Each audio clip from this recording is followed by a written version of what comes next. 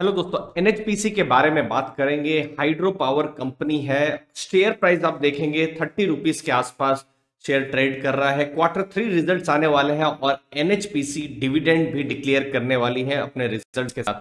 तो 11 फरवरी के दिन एनएचपीसी अपना जो डिविडेंड है इनफैक्ट इंटरिम डिविडेंड जो है, वो डिक्लेयर करने वाली है। अगर आप पास्ट डिविडेंड्स को देखें तो हमको और आइडिया आएगा कि किस हिसाब से एनएचपीसी ने डिविडेंड दिए हैं।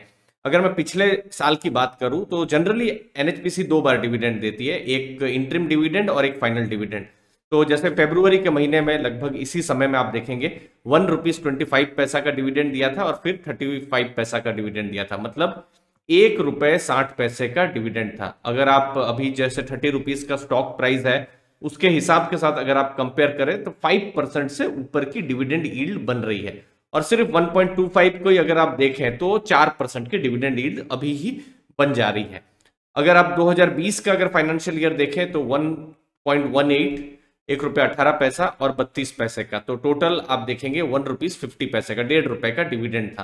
तो हम देख रहे हैं ईयर ऑन ईयर डिविडेंड भी जो है थोड़ा सा बढ़ रहा है, जो जो ट्रेंड्स जो आ रहे हैं, जो ट्रेंड्स जो समझ में आ रहे हैं। 2019 में आप देखेंगे तो पॉइंट सेवन फाइव और पॉइंट सेवन वन का डिविडेंड था। तो उस हिसाब से अगर आप कैलकुलेट करेंगे तो वन पॉइंट फोर सिक्स का डिविडेंड था। तो हम लोग देख रहे हैं स्लोली स्टीडीली डिविडेंड थोड़ा थोड़ा बढ़ रहा है। अब फेब्रुवरी के महीने में पिछले कुछ सालों से पिछले दो सालों से इनफैक्ट जो डिविडेंड यील्ड है लगभग चार परसेंट की आ रही है। तो हमको पता चलेगा ग्यारह तारीख को कैसा डिविडेंड दे रहे हैं। देखिए हाइड्रो पावर अभी एक तरीके से अभी बिल्कुल थीम में है। आपको मैं जस्ट इन्फॉर्म करूँ कि 500 गीगावाट का पूरे इंडिया का टारगेट है कि वो मतलब रिन्यूएबल एनर्जी से कैसे इलेक्ट्रिसिटी प्रोड्यूस हो। तो सोलार में तो फोकस है ही सोलार में है ही। सोलार पर आप देख भी रहे होंगे, सुन भी रहे होंगे बहुत सारा काम हो रहा है। लेकिन जो ग्रिड स्टेबिलिटी है, उसके लिए हाइड्रो पावर की भी ज़रूरत है। तो हाइड्रो पावर ये भी रिन्यूएबल एनर्जी सोर्स है क्लीन एनर्जी सोर्स है तो फ्यूचर में इसका स्कोप बढ़ता ही रहेगा और इनफैक्ट अगर आप देखेंगे एनएचपीसी को तो एनएचपीसी कुछ सोलार प्रोजेक्ट्स में भी काम कर रही है बट मोस्टली अगर आप हाइड्रो पावर में देखेंगे तो 15 परसेंट जो भारत की हाइड्रो इलेक्ट्रिक इलेक्ट्रिसिटी जो है कैपेसिटी वो एनएचपीसी के द्वारा इंस्टॉल की हुई है। तो ये एक बहुत बड़ा नंबर है। उसके अलावा बिज़नेस नंबर्स की बात करें, क्योंकि जब जब हम डिविडेंड की बात कर रहे हैं तो क्या प्रॉफिट्स कर रही है कि नहीं तो देखिए, जैसे टोटल इनकम आप देखेंगे, क्वार्टर टू में 2916 करोड़ की हुई थी। वही अगर इनकम अगर आप कंपेयर करेंगे, quarter two F I twenty one में 2980 करोड़ तो थोड़ा सा इनकम कम हुआ था। प्रॉफिट्स की अगर आप बात करेंगे तो स्टेबल प्रॉफिट्स है, तेरह करोड़ था, अभी भी तेरह करोड़ का ही प्रॉफिट है। छह महीनों को अगर आप बात करेंगे तो दो हज़ार दो सौ सत्रह करोड़ का इस बार एनएचपीसी का प्रॉफिट है। कुछ प्रश्न भी आते हैं कि क्या पर यूनिट प्राइस क्या एनएचपीसी इंक्रीज करेगा या कर रहा है? तो यहाँ पर एक माइनर इंक्रीज हुआ है, जैसे 3.53 रुपीस पर यूनिट से 3 3.67 तो एक माइनर यूनिट जो है प्राइस जो है पर यूनिट जो पावर है, उसका इंक्रीज हुआ है। तो ऐसा कुछ नहीं है कि बहुत बड़ा इंक्रीज हुआ है। तो ये एक चीज़ बिल्कुल ध्यान में रखा जा सकता है। लेकिन एक स्टेबल बिज़नेस मॉडल है।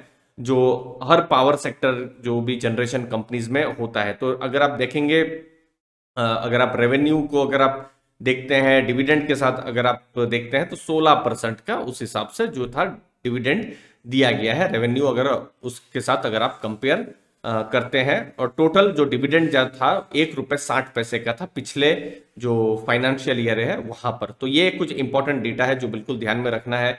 Three thousand two hundred thirty three ये two thousand twenty twenty one में ये जो था प्रॉफिट्स हुआ था, जो अभी दो क्वार्टर में दो हज़ार दो सौ सत्रह करोड़ का अभी ये प्रॉफिट्स हुआ है। एक और ये छह नंबर, छह महीनों के हम नंबर्स देख लेते हैं। टोटल इनकम छह महीनों में five thousand two ninety crore की हुई है। ये मैं इसलिए दिखा रहा हूँ क्योंकि इस बिज़नेस में मार्जिन बहुत स्ट्रांग है। सिक्सटी सेवन परसेंट मार्जिन है और प्रॉफिट्स आप देखिए फोर्टी टू परसेंट प्रॉफिट्स के मार्जिन है, जो कि एक बहुत ही स्ट्रांग मार्जिन है। शेयर प्राइस आप ज़रूर कह सकते हैं कि शेयर प्राइस भी नहीं बढ़ता है बट शेयर प्राइस बिज़नेस ये दोनों ही अलग अलग चीज़ों को हम जितना देखें उतना अच्छा है, क्योंकि शेयर प्राइस के लिए बहुत सारे वेरिएबल्स होते हैं, लेकिन क्या बिज़नेस स्ट्रांग है, वो देखना भी बहुत ज़रूरी है। तो एक एक स्टेबल बिज़नेस है। ऐसा नहीं है कि स्टेबल बिज़नेस मतलब दो गुना, तीन गुना करके ग्रो करेगा। स्टेबल ग्रो करता रहेगा प्रॉफिट स्टेबल आते रहेंगे।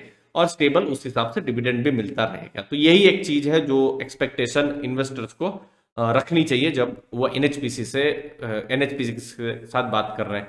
फ़िज़िकल स्नैपशॉट बता दें भारत में अगर हाइड्रो पावर है तो 12 परसेंट अगर आप देखेंगे पूरा जो भी आपके घर में जो इलेक्ट्रिसिटी आती है या तो हाइड्रो पावर से आती है सोलर पावर से आती है या फिर थर्मल पावर से आती है तो तो, तो हंड्रेड में से 12 परसेंट हाइड्रो पावर का योगदान है। अब उस 12 परसेंट में 15 परसेंट जो अगर आप देखेंगे कंट्रीब्यूशन uh, एनएचपीसी का है। तो अप्रोक्सीमेटली दो परसेंट भारत में जो भी इंस्टॉल्ड कैपेसिटी है इलेक्ट्रिसिटी की या फिर पावर सेक्टर की तो वो एनएचपीसी के द्वारा आता है जो कि भारत जैसे देश में एक बहुत बड़ा नंबर uh, है अगर आप देखेंगे। अभी ऑपरेशनल प्रोजेक्ट्स भी हैं और बहुत सारे प्रोजेक्ट्स भी मैं देख रहा था पाइपलाइन में है और अभी आइडिया आएगा जब ये रिज़ल्ट आएँगे। फ़िलहाल कंस्ट्रक्शन में भी आप देख सकते हैं नौ नौ प्रोजेक्ट्स हैं, लगभग सिक्स गीगावाट के, छह गीगावाट के हैं। फिर कुछ क्लियरेंसेस में भी कुछ प्रोजेक्ट्स हैं। तो जैसे जैसे रिज़ल्ट आएँगे तो हमको पता चलेगा। बेसिक मैं बता दूँ, थर्टी थाउज़ेंड करोड़ का मार्केट कैप, शेयर प्राइस लगभग तीस रुपए के आसपास। एनएचपीसी का सेल्स ग्रोथ बहुत नहीं है और प्रॉफिट ग्रोथ थोड़ा सा यहाँ पर हुआ है।